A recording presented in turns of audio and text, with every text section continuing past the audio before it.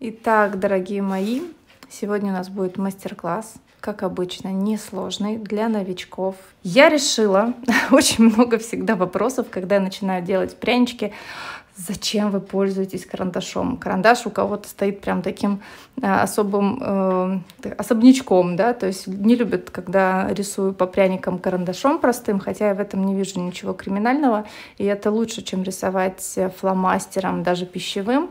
Соответственно, я решила сделать сегодня пряники с цветами, но без использования карандаша, как можно э, сделать шаблон без вообще э, проектора, без всяких трафаретов и прочего.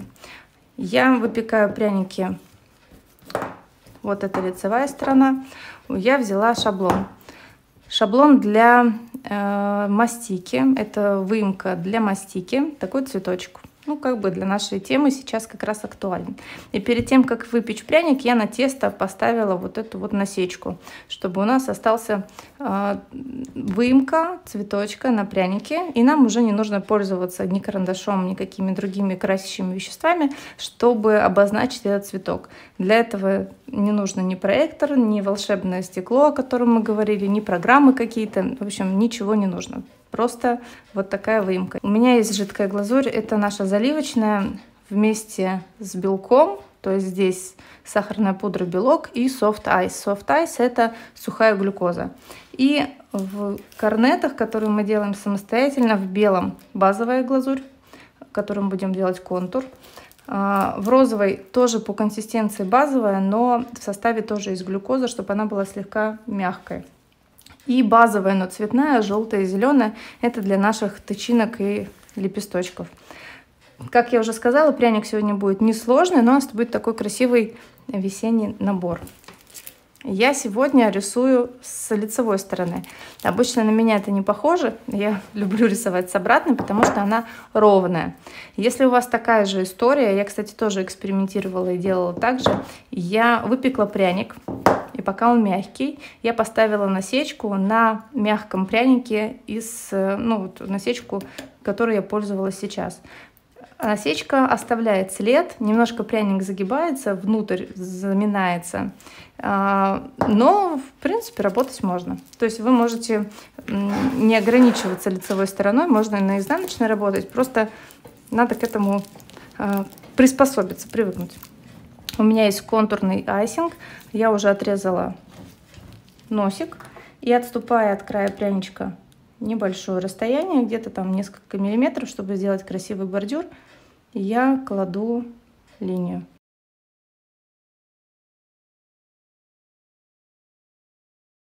А, я хочу, чтобы у меня цветок напоминал сакуру. Цветочек мы полностью обводим. И если у нас это контур, контур должен примыкать к цветку, иначе у нас в каком-то месте может просто вылиться заливка. А жидким айсингом заполняем пространство внутри.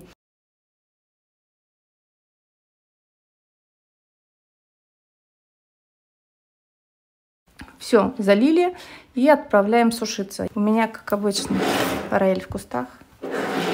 Я с утра пришла, залила уже наши прянички, немножко их подсушила. Здесь я не долила, точнее не докрасила до конца. Сейчас я оформлю все листочки.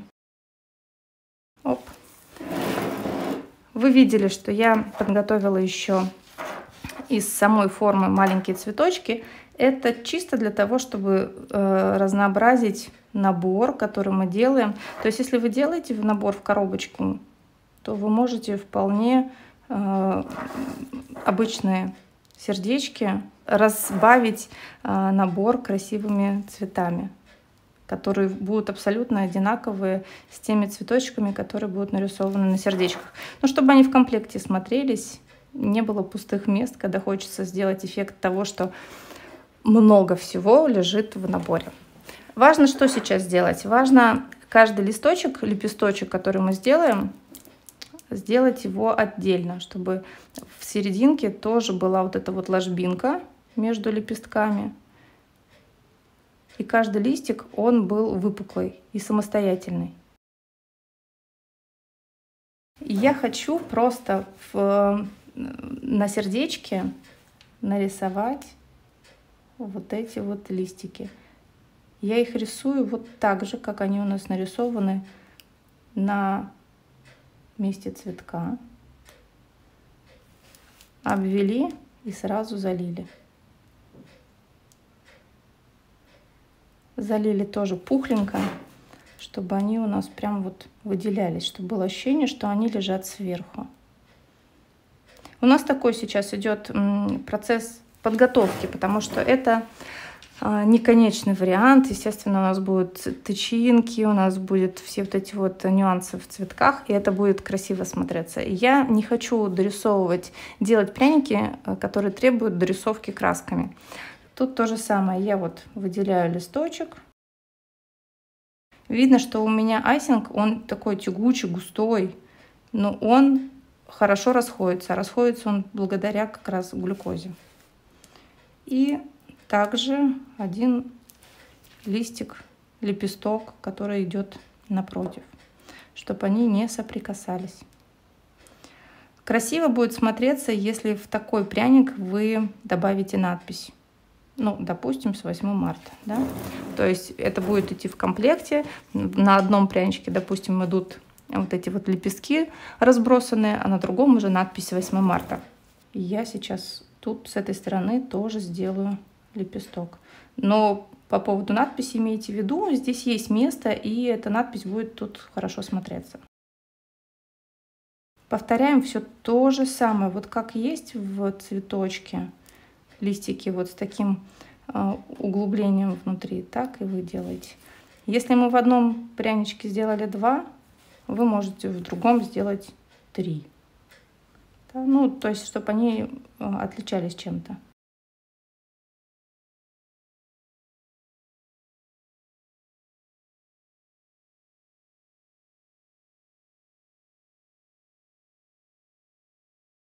Так как у нас уже сложный рисунок, да, хотя он, в принципе, не такой сложный, как кажется, но он у нас очень э, занимает много места, эффектный. И когда мы его доделаем, он будет яркий.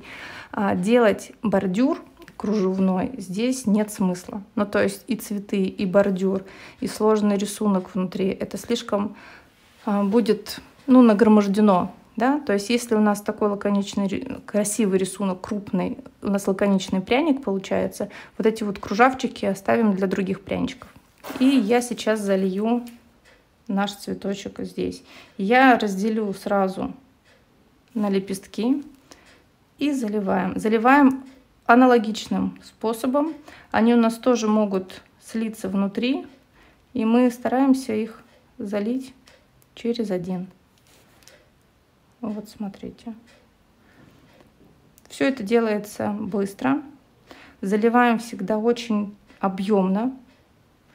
А, у многих, кто сейчас присылает мне свои работы на корректировку, на оценку, я вижу, что боятся люди а, работать с айсингом, боятся, что он либо перельется. Вот ощущение такое, что а, боятся залить побольше. А когда вы заливаете мало, айсинг ложится неровно, не объемно, не гладко. И сам пряник получается такой, ну, не очень опрятный. Заливаем последний лепесточек.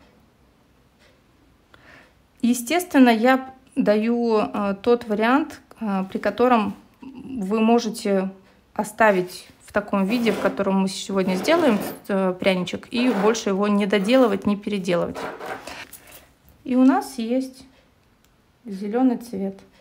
Очень-очень аккуратно я добавляю сюда.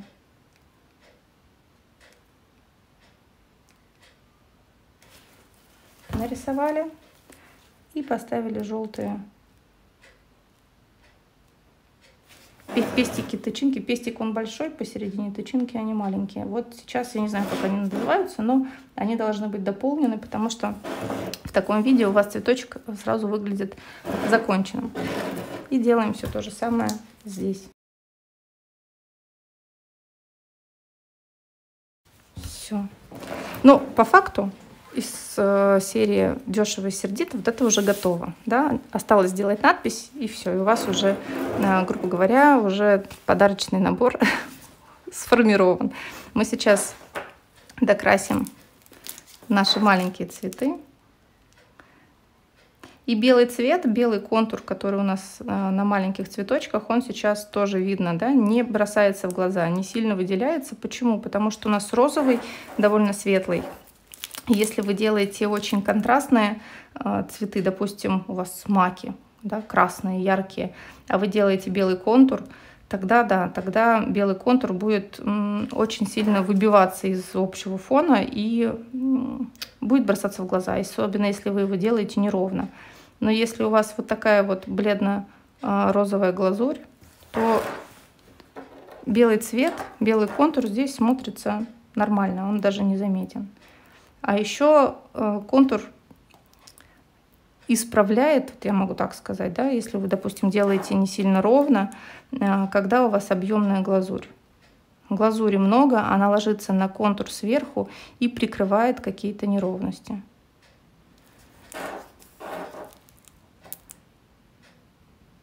Носиком корнета разглаживаем все, убираем все пустоты. Их не должно быть вообще. И теперь делаем сейчас то же самое, что делали на, на, на цветочках, на сердечках. Аккуратно. Можно, конечно, подождать, когда подсохнет розовый цвет, но если вы кладете сверху и кладете точечно, аккуратно, не размазываете, то у вас все отлично получится, и они будут вместе высыхать, и розовый, и зеленый.